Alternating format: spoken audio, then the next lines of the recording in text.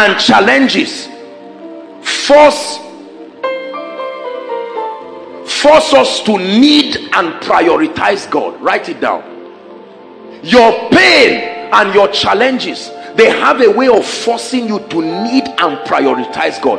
There are many of us, it's not that you have left God, but sincerely, He's not a priority. And so, certain times when when certain things shake you and hit you, all of a sudden you will remember that there I, I need to run back to God. I need to make things right with them. I don't believe that God goes around causing people pain and sorrow no the bible says every good and perfect gift but because of our human nature god utilizes every unfavorable moment let me tell you a spiritual man is one who can turn both glory and pain into something that helps him to know god. We have this we have this um we have this level. There there's something about believers. We frown at pain when believers go through challenges. And sometimes the church again we are the ones who bring these kinds of things. Come sam. All of a sudden something happens to sam. Maybe he loses a loved one. Are we together and god forbid sam just an example and or something happens to him there's disappointment somewhere and you hear believers come ah, ah sam didn't you hear god what this didn't this happen didn't this happen whereas God is, is taking advantage of that opportunity to say, Sam, I'm bringing you to a point where there is something about me you otherwise would not know. If he did not go to the cave of Adullam, David would never know certain things about God. Please listen to what I'm saying. If you started that ministry from day one and 1,000 people came, you will never believe God is a God of process. And so with all your anointing for the first one year only two members. The day you did your thanksgiving four came two left before the service was over. And you just called your wife. Your wife said my husband i've never doubted you but kai today let me tell you the truth. I know that when you told me god called you it's not i'm using i'm using husband i'm using a come wife now watch this I've never doubted you. You said God, God called you. I said, Yes, he called. Are you not seeing what I've, is it not is it not my my anointing that, that made your, your father sick that he allowed me to marry you? Why when I what are you are doubting me today?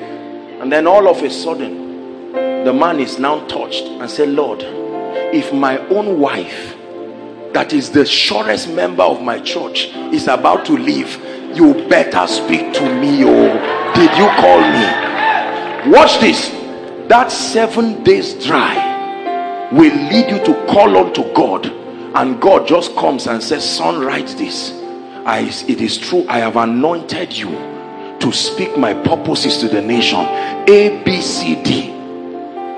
When you will now be dancing celebrating 10 years anniversary when it's your time to give the testimony you are now going to say look I know that God is the lifter of men and you see the wife crying because she knows.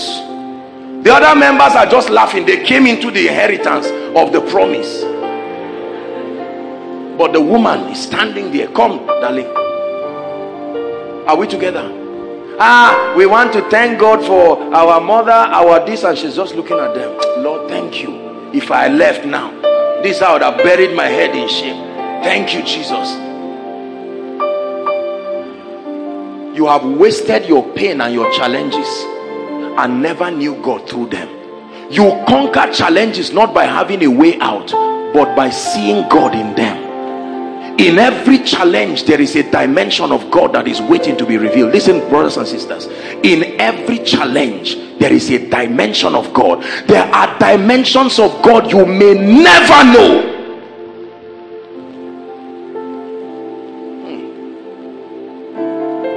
he slay me, yet will I trust him. There are things you hear me say casually about God today, brothers and sisters. It's because of the abundance of what I've gone through. There are things that you can hear us say at the beginning of this ministry. Remember, I told you how things didn't work. There were times that I prayed, I fasted, I sowed seeds. I've said it, you've heard me say it again. All my scholarships were spent on the kingdom. Never spent anything on myself. There are times that my heavens will close. Oh god is this tithing working or not? So when you see somebody come and say apostle i've been tithing since january say just january and you are complaining. Just january. And it's not like the favor closed just that it's not yet enough. You better thank god and keep moving. There's something you know. Let me tell you when you are too innocent in life you can't be sent um not I, I i no the word is i hope i hope you understand what i mean by innocent. When you are scarless you can't be sent. There is a level of scar that must be on you as a testament. You are never please help those under the anointing there. You can never represent god scarless. There is a mark that is a testament. Are we together now? Yes you've never been disappointed in your life You've never had to cry in your life. You've never had to lock the door to pray. And as a man of God, just kneel down and say, Lord, I don't hate you, but right now I don't know what to say.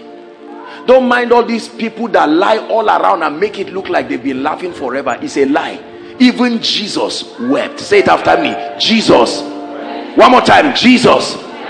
The Son of the living God, the Word that creates everything, got to a point in his life where he said, Father, imagine if that part of Jesus was not captured for us. We'll feel guilty whenever we cry in the midst of challenges. But today, someone can lose a loved one, and while we come, we'll not just say, Why didn't you have faith? We will continue to teach on life, but we can join together and cry and not feel bad apostle you are crying that somebody died well what happened to the anointing that you walk with no problem you may laugh at me but i i have i have learned something with god that he's not just a mighty god he can also be touched with the feelings of our infirmity so I will not just preach life and run away from you when you lose your loved ones and say, No, no, no, we are, we are life giving spirits. No, we are life giving spirits, but there are women who died and didn't receive the promise. And the Bible joined all and called it faith. So we will cry together. Are we together? Oh, you come and all of a sudden you say, Look, apostle, this and that and that and that, this and that. I mean, you know, not to feel bad, but I mean, look at this is how my life is. I made a stupid decision. I, I carried my salary, and all of a sudden, somebody scammed me, and this happened. I'm just like, You are stupid. I've been drumming divine direction. No. Compassion. Pain and challenges reveal a dimension of God to you and through you that no other thing, no other dimension of kingdom living can reveal. There are some of you here, God will allow you purposely to stay without food so that the day you become a multi-millionaire you can look at a family and they can say apostle do you know we love god but as it is there's no food this night? You will say well man i've, I've prophesied to you what else are you waiting for? No compassion is not natural with the natural man.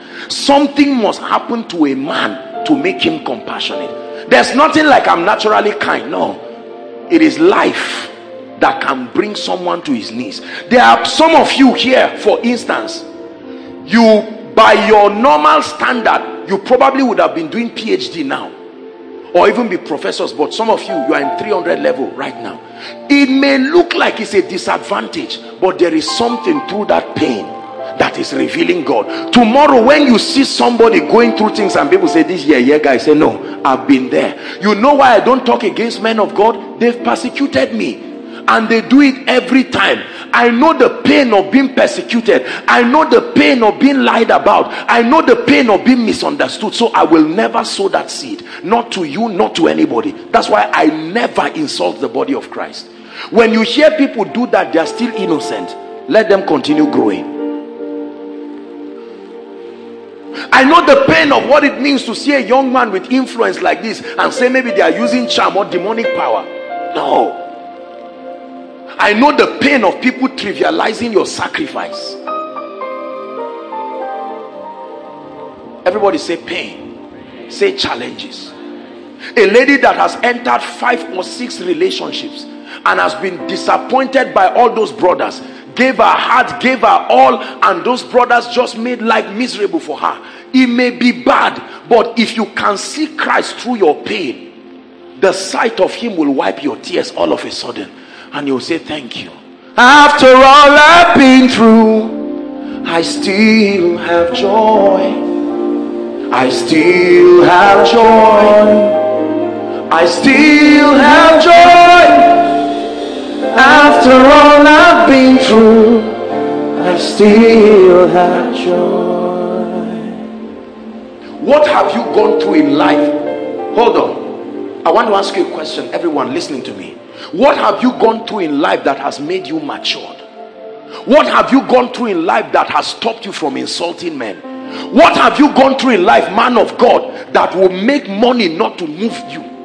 What have you gone through in life? How many of you know that there is a way life whips you that even when you see the result, you don't celebrate much again?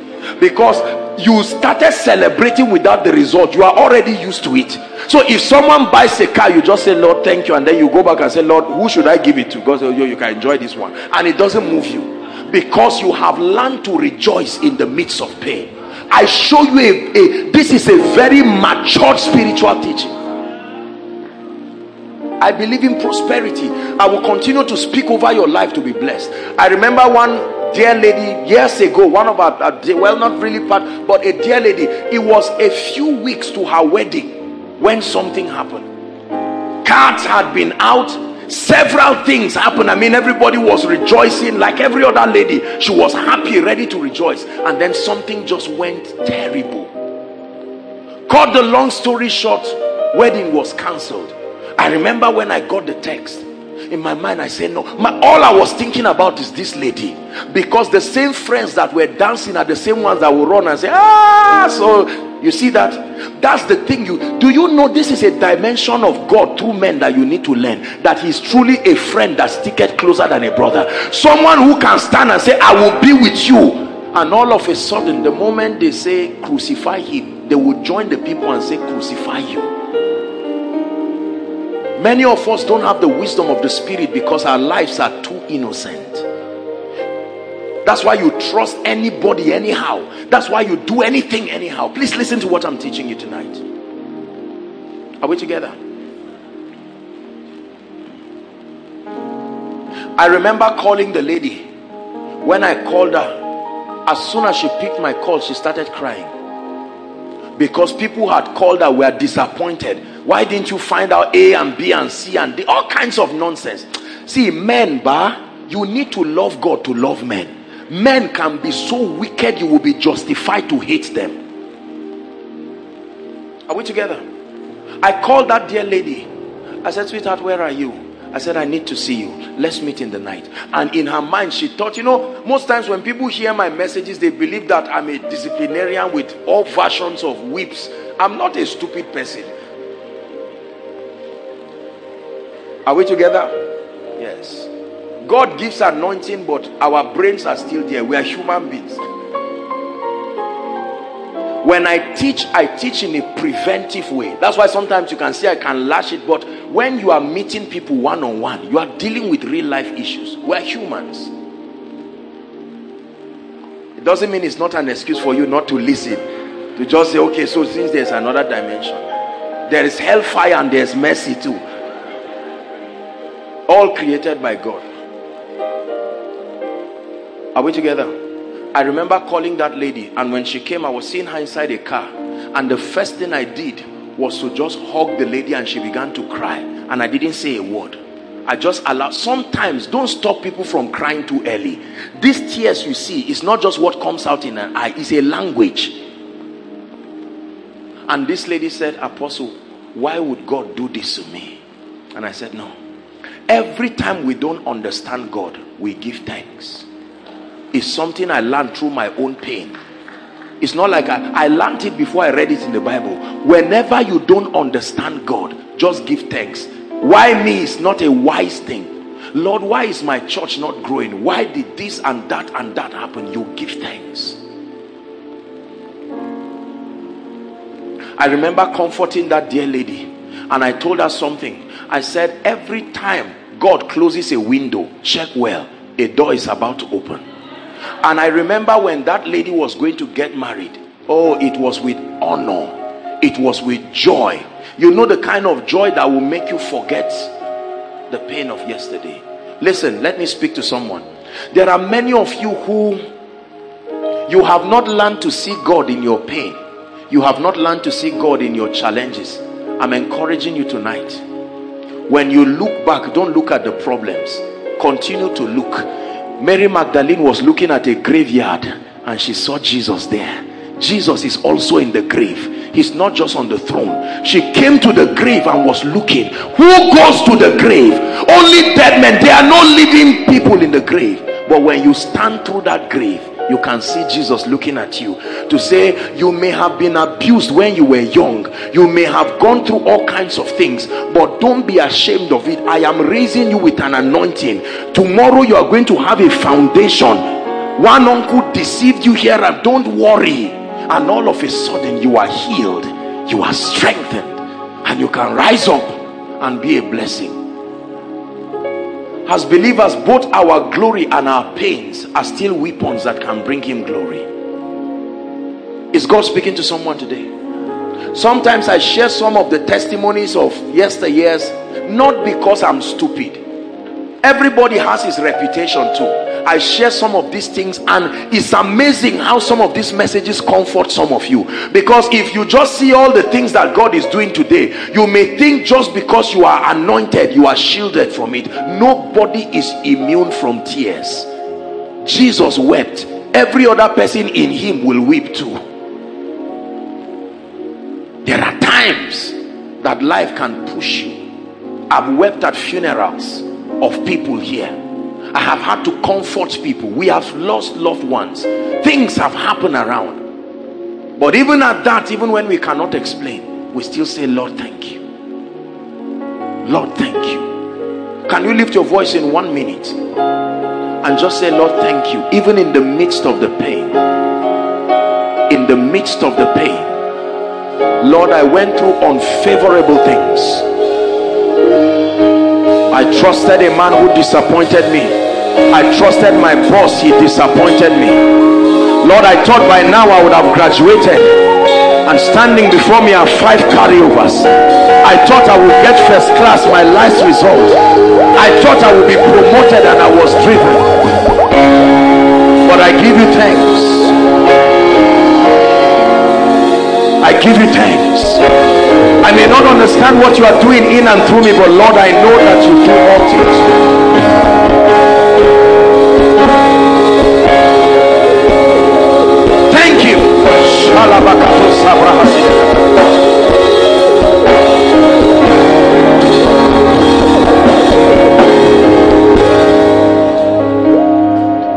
I will sing, I will praise,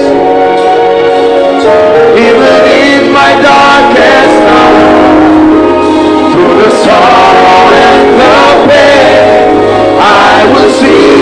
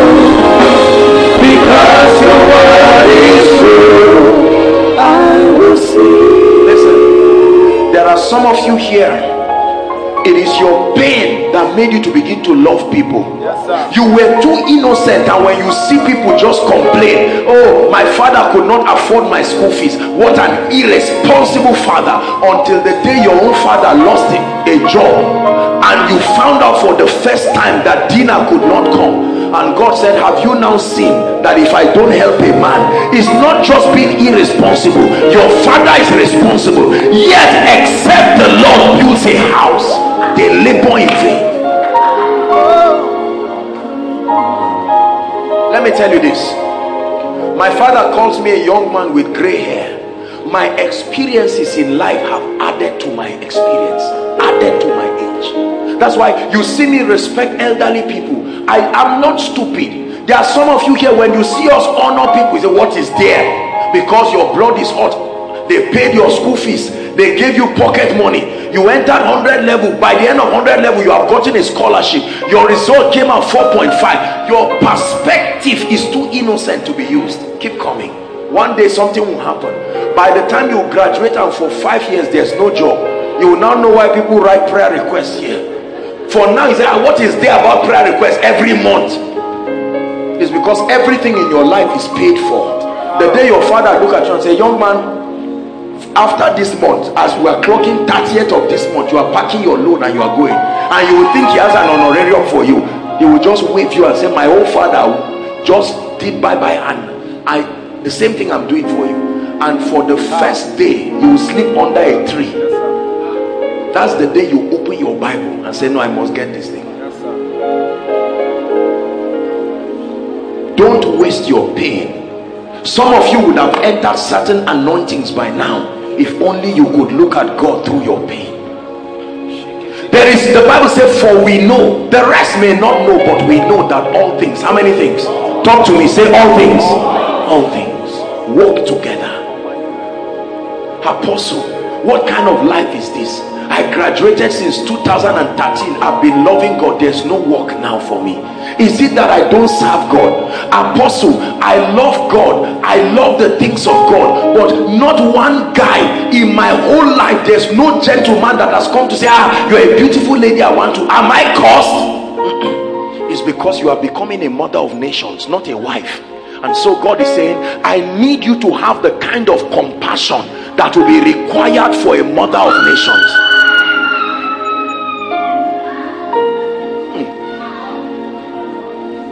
Today i can minister to people. Because every time i want to be wary, there is always something god can use from my past. People say apostle is humble. I'm not humble. It's a revelation of god that has kept me like that. The moment i want to lift up my head god just has to show me one vision of one night i could not afford garri. and he say where where is the pride coming from? Your past can help you maintain your glory your past has something in it that can help you keep your glory. When you see a man of God blessed and consistent and stable there is nothing that is natural like that. There are many of you you will not have listened to God. Every time they talk to you you are stubborn towards instruction. So God allowed you. And for one year like the prodigal son you went away from mentorship and instructions and you saw the casualties that it brought to your life. And now God comes back again and says can I now help you? And you say Lord please I will never leave you again. Are we together? We'll stop here tonight. Make it part one. We have part two. There, there there's something very deep that I want to share. I'll share with you next week or whenever whenever it is that we have the opportunity listen to me brothers and sisters. I made certain covenants with my life at certain seasons of pain not luxury. There were things i went through in my life and i vowed to god. I said lord if you ever prosper me i will not let one person die of hunger in my presence. I would not have said that. If money and all these resources just came cheaply I may be part of those like you people running your mouth at every family irresponsible people. Look how simple it is to prosper. So there are times God can allow you. You go through this you pray you fast no door opens. So that when he blesses you with 10 naira and says give that 10 naira here you don't want people to lick your shoes just because of that. There are certain anointings. There are people who got certain impartations early in life. You see that early life and it made them proud. What is there about this? In fact right now i can even show that the power of god will move. One two three four. And they make all kinds of things. Mismanagement of the anointing. Then one day god will leave them. And you find out for one year it looked like your heavens were closed. You go for a meeting you leave there asking did god call me? In the midst of your pain God begins to show you the visions of the foolishness and the pride. You insulted every man of God because you had more revelation than your local pastor. You insulted him. All this, this, this dull reverend doesn't know anything, and God kept watching. When that heaven closed towards you, God will now say, Go and meet that reverend for prayer. He's the one who will open your heavens. And you drag yourself in shame like somebody that has finished fighting wrestling, and the reverend looks at you and say, You, I heard you talk nonsense. God say, You better apologize there. When you learn it, like Samson, the anointing comes back again. But this time around, you know the value of the anointing because you believe that you you are too precious, you won't lose it you kept reading books that ah this and that happens the day it left you you don't need to ask whether it goes again you learned a lesson by yourself there are some of us who were very innocent. We insult every mother. You see somebody's mother insult the mother and say God, this woman said this and that. I sat down near her and she didn't put any perfume. God, what kind of a smelly you know this koinonia? And god is saying no problem. It's because you had a father who was a this and that. All of a sudden another government to come and they won't give him appointments and your friends will say ah where's our jeep now? He said no jeep again no and then when they leave you like the prodigal son then you come back to your senses. And the next time god gives you a jeep you don't just say come and see jeep you say come and see god's faithfulness. It will suddenly become god's faithfulness no longer jeep.